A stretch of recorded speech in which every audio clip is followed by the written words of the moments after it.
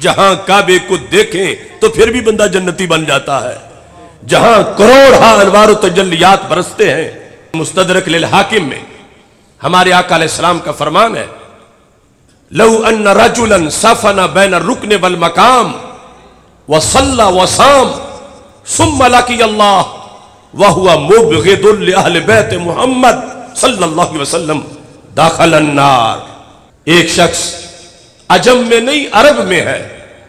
अरब में फिर हरम में है और हरम में फिर मस्जिद हराम में है और मस्जिद हराम में फिर एन काबतुल्ला के साथ है।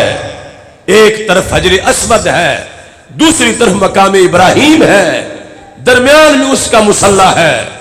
दो चार घंटे नहीं, दो चार दिन नहीं, दो चार महीने नहीं, दो चार साल नहीं उसने सारी ज़िंदगी वहाँ गुजार दी है।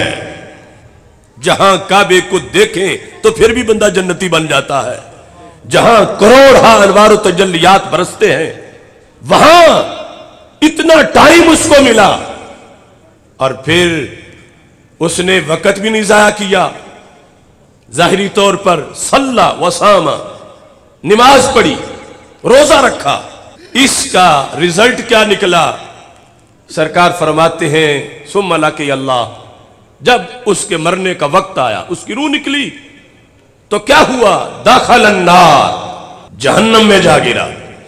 उसको ये मुकद्दस मकामात का फ़ायदा क्यों ना हुआ? उसको हर में काबा की बरकत क्यों ना मिली? उसको नमाज़ रोज़े का फ़ायदा क्यों ना हुआ? कि उसमें एक रोग था। एक खामी थी। क्या खामी थी? मेरा कल सलाम फरमाते वह हुआ मुबगिद बैत मोहम्मद सल्लल्लाहु अलैहि वसल्लम। नमाजी था, मगर मुहिब अहल बैत नहीं था। उसके दिल में बुग्ज अहल बैत था। काबे के सामने था, मगर काबे के काबे की आल का बुग्ज रखता था। तो उसको किसी चीज़ का फ़ायदा ना हुआ। वो जहन्नम में जा गिरा। तो इससे ये बात जेर में रखनी चाहिए। वो मसला भी यहाँ से आसानी से समझा जा सकता है। लोग कहते हैं, तुम अहले सुन्नत, देखो तो सही, अहल नजद के खिलाफ बोलते हो। वो तो काबे के पास बैठे हुए हैं और वो तो हर वक्त वहाँ रहते हैं और तुम कभी कभी वहाँ जाना नसीब होता है। और वहाँ बैठे हैं तो फिर अल्लाह वाले हैं, तभी बैठे हुए हैं। और बैठे हैं तो फिर वो तो कामयाब है।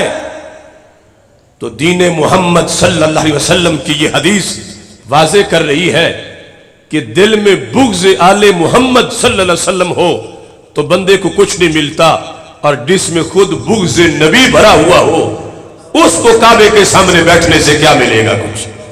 और ये पैगाम हमारे आका सलाम ने इसलिए दिया था कि उम्मत के हालात को देख रहे थे।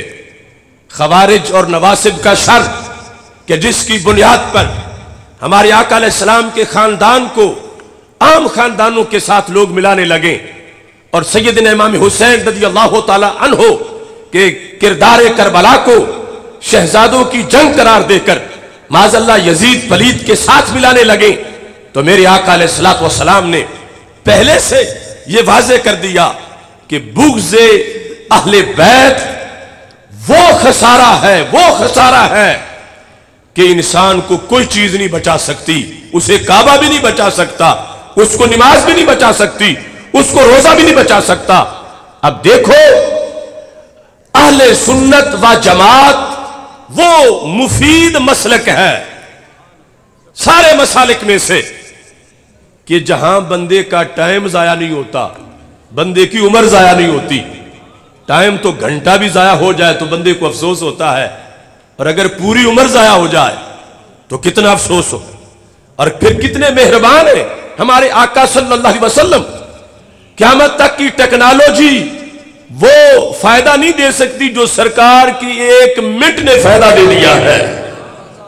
अगर सरकार ने यह बताया ना होता और लोग इसी तरह बुग्ज अहले बैत में पहुँच जाते। जहन्नम में तो हाथ मलते रहते कि काश दुनिया में पता चल जाता तो हम अपनी इसलाह कर लेते। काश दुनिया में पता चलता कि ये इतना ज़रूरी सब्जेक्ट है कि इसमें अगर फेल हो गए तो नमाज़ के नंबर ही नहीं मिलेंगे। तो हम अपनी इसलाह कर लेते, लेकिन दुनिया में तो पता ही नहीं चला तो हमारे आका सलाम कितने मोहसिन है इंसानियत के। किस कदर भला सोचा। और यह मसल के अहले सुन्नत है कि जिसमें हमारे आका सल्लल्लाहु अलैहि वसल्लम की हर निस्बत का एहतराम है।